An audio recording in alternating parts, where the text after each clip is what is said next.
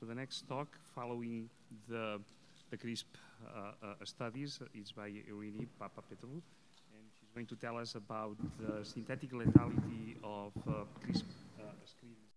Well, thank you. Hello, everybody.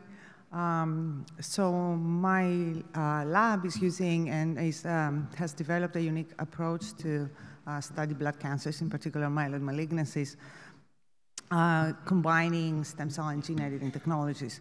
So we're using reprogramming to pluripotency to derive induced pluripotent stem cells, or iPSCs, from patients with blood uh, cancers, myeloid malignancies, uh, starting with cells from the bone uh, marrow or the blood, um, that typically contains both cancer and normal cells.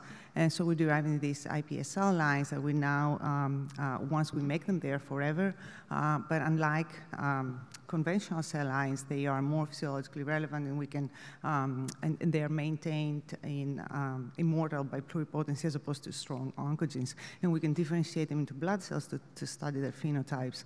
In parallel, we're using CRISPR uh, gene editing to either correct or introduce specific mutations in, uh, respectively, um, mutant or normal iPSCs, thereby uh, generating perfectly isogenic conditions um, they're ideal to, to ask questions about what the effects of specific point mutations are in cells that only differ um, uh, in their genome by one uh, specific point mutation. And we um, uh, use this system in the lab to study uh, and to ask uh, uh, many interesting questions in cancer biology and precision oncology, both more basic and um, some more translational.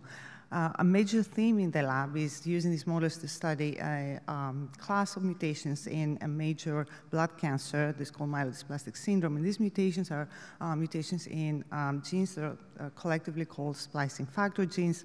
Um, they are uh, RNA binding proteins, and the three main ones are shown here as SRSF2, SF3B1, and U2F1, and these are hotspot mutations. We didn't know anything about them until very recently. About seven years ago, these were found through cancer uh, genome. Um, um, uh, you know, large-scale efforts of sequencing of cancer genomes. Um, and we now know that these are probably the most important uh, class of mutations in this, uh, in this blood cancer. That more than half of the patients have them. They're very typical of this cancer, very uh, infrequently found in other cancers. They're early events. And unfortunately, current models are not very good in, in helping us understand what these mutations do, which right now is pretty, um, still remains largely unknown. Um, there are no conventional cell lines uh, that have these mutations in, um, uh, an endogenous setting, and mouse models are not that great for to study splicing effects because of um, a limited conservation of uh, alternative splicing. Um, so to try to overcome this, we developed in the lab using CRISPR-Cas9 and iPSC lines, we developed a panel of um, iPSC lines with these, um, the, the, three main splicing factor mutations introduced by CRISPR gene editing and also tagged with um, uh, flag epitopes. And we're using them uh, for a number of studies to try to understand the functional consequences. But today, since the uh, theme of the uh, session is functional screens, I'm going to discuss this uh, last um, uh, here in the list, uh, how we use this for synthetic lethality CRISPR knockout screens. And so the idea behind this is um, uh, quite simple. We're using a dropout screen design whereby we um, transduce a library of guide RNAs that uh, target a set of kinase genes that we obtained actually from Brian Brown's lab with the help of uh, Ola, the previous speaker here.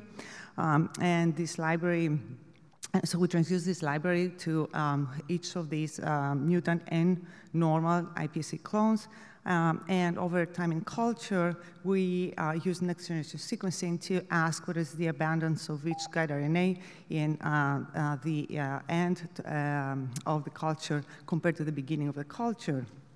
And by doing this, is this correct this time? I thought, that, wow, really? Okay, so, um, huh.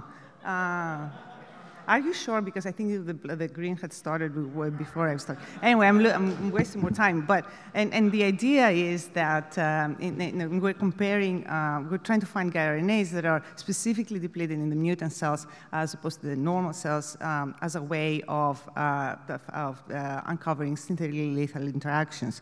Um, and so these are some um, uh, quality control experiments we first want to do to show that guard, the distribution of our guide RNAs in the cells corresponds to that of the library that uh, we don't introduce any um, technical problems with our um, uh, DNA preparation, PCR amplification, and next generation sequencing. And um, by calculating the CRISPR score, so looking at the abundance of each guide RNA in the beginning uh, compared to the, um, uh, to the end of the culture, uh, we want to see this uh, tail of depleted, so presumably essential um, gu guides uh, that, and, and, while the rest of the guides, um, uh, we expect them to be largely unaffected, so in this kind of uh, sort of uh, almost flat line. And uh, looking at, oops, um, uh, the results of that we have obtained so far by screening um, three individual clones of each of the mutant lines and three isogenic normal, um, in the heat map to the left, we have done the analysis of normalized CRISPR uh, scores, and what we're looking for is um, guides that target the kinases are here um, that are have low scores in most of these uh, mutant lines, but not in the normal ones. These are that would appear here in the top. Um, in this analysis shown to the right, uh, which is um, a little bit um, different, we ask how many of the guides that target the same clone are depleted. So this analysis puts a, a little bit less faith in, in the fact that all guides will be equally effective.